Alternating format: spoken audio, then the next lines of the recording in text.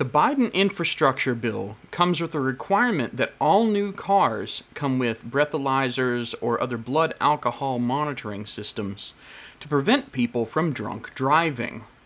The problem with this not only is that it will add expense to every new car, but also that these systems are both unproven and potentially fatal.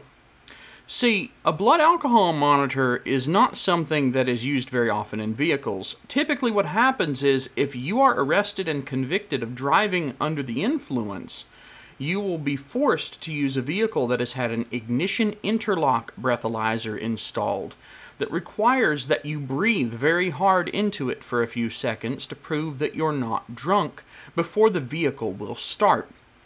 Basically, every new car is now going to get a similar system. Though not necessarily a breathalyzer, it may analyze your blood alcohol content through your skin.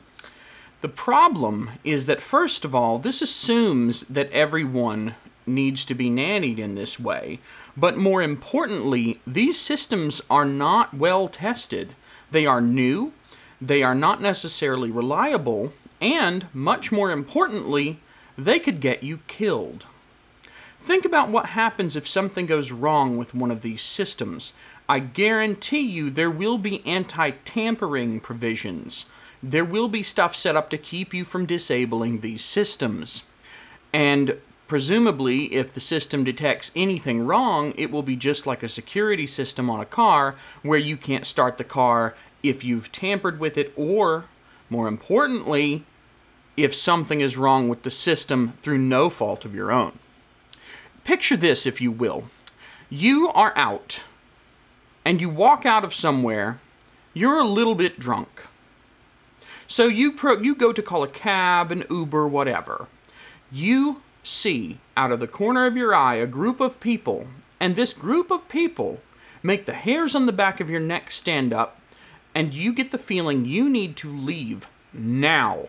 You don't have time to wait on a cab to get there. You need to leave now. These people are looking at you and they seem like they're going to come and do something to you. You go to your car quickly and try to start the car, but you've had a little bit to drink, so you are too drunk to drive. But this is not a normal situation. This is a situation where you're a little bit too drunk to drive, but if you don't at least get out of that area, you could be raped or murdered, beaten. You could have all kinds of horrible things done to you if you don't get out of there now. It's a safety issue. The problem is the car is your property. It should start when you decide that it should start. There is no way for the people who put these breathalyzer alcohol monitor systems in cars to know what your unique situation is. Let's take another scenario. Let's take one that doesn't involve drunkenness at all. For those of you who, um, one person on the internet who's very stupid, by the way, decided to respond to me complaining about these things by saying, well, you shouldn't, uh, you shouldn't be driving a car there anyway if you know that you're going to be drinking, as if, you know, no one ever gets put into situations where it's uh, fight or flight. It's a safety issue. Yeah, dumb people. But let's take another situation that doesn't involve drinking and thus avoids this problem. Let's say you're driving for a long distance. You're driving on a back road. You're going to be driving for a long way, maybe one, 200 miles, in the middle of nowhere, Montana, God knows where. Somewhere where you can't rely on there being any significant amount of traffic, somewhere that isn't frequented by humans, somewhere where help is not exactly raring to go, you're going to have a problem. There are no humans sometimes for miles around. You're driving. The system malfunctions either while you're driving or you have to pull over and take a quick pee on the side of the road because it's a long trip and you really got to go.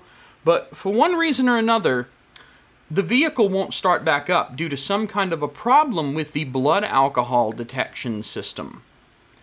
So what do you do? Well, you're in the middle of nowhere, maybe during bad weather, during extreme cold, extreme heat. You know, perhaps you're driving through the Nevada desert on a less traveled road, It could be hours before anybody else drives by. For all you know, days. What has happened is that you are now on the side of the road with a non functional vehicle that would be perfectly fine if it weren't for a defect in this nanny state alcohol management system. And now you're stuck in what used to be a normal drive, just a, a nice, leisurely drive through the countryside. Now you're in a survival situation. Now you have to be concerned about finding food, staying warm or cooling off, having water. You are now in survival mode. You could potentially die on the side of the road. And this is all assuming that you didn't get raped, beaten, and murdered by a bunch of guys who followed you to your non functional car, broke into it, and pulled you out and did things to you in an alleyway. All thanks to the nanny state drunk driving monitoring system that was mandated in the Biden infrastructure bill. Now, on the flip side of this, you will have people arguing this will prevent drunk driving deaths. This is great because it'll stop people from committing drunk driving. Well, that's yet to be determined, and old cars will still exist that don't have it.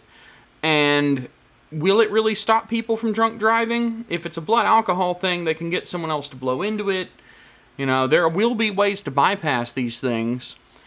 The question is, will it actually save anyone? And the answer is we don't really know, but probably not as many as you would think. But it will cause more problems with cars. It will cause more defects. It will cause more failures.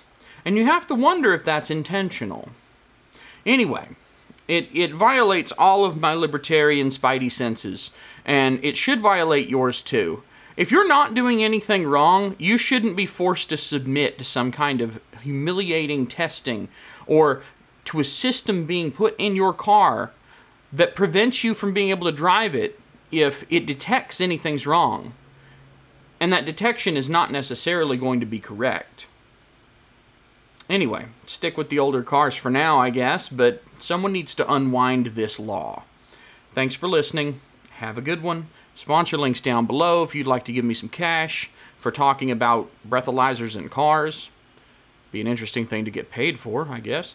And uh, thanks for watching. Also, go check out my other channel, which this will be posted on too, uh, Jody's Spicy Takes. Subscribe over there if you like my political stuff, because eventually that's the only place it will be. Have a good one.